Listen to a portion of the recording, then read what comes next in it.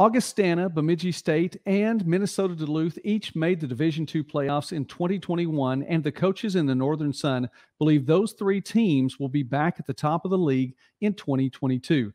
The Vikings compiled the most points in the preseason coaches poll to win the overall league title. The Beavers were in second place in that portion of the poll, and the Bulldogs came in third. The rest of the poll looks like this. For overall title, Augustana again with five first place votes, Bemidji State with four. Duluth didn't get any first place votes, but came in third in the overall points total. And in a tie for fourth were Minnesota State and Sioux Falls. Minnesota State with three first place votes, Sioux Falls with two.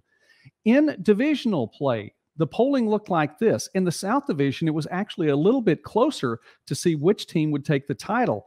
Minnesota State received three first place votes, was but was second in the polling behind Augustana. As the coaches believe the Vikings will take the South Division. Again, Augustana at number one in the South, Minnesota State two, Sioux Falls in third in the voting, followed by Winona State, Wayne State, Upper Iowa, and Southwest Minnesota State. In the North Division, it was Bemidji State receiving six first place votes, as the coaches believe the Beavers by a good margin, will take the North Division in 22. Minnesota Duluth received the other first place vote in the North Division. Following that, it was Northern State picked third, Mary and MSU Moorhead in a tie for fourth, Concordia St. Paul in sixth, and Minot State in seventh in the preseason coaches poll for that division.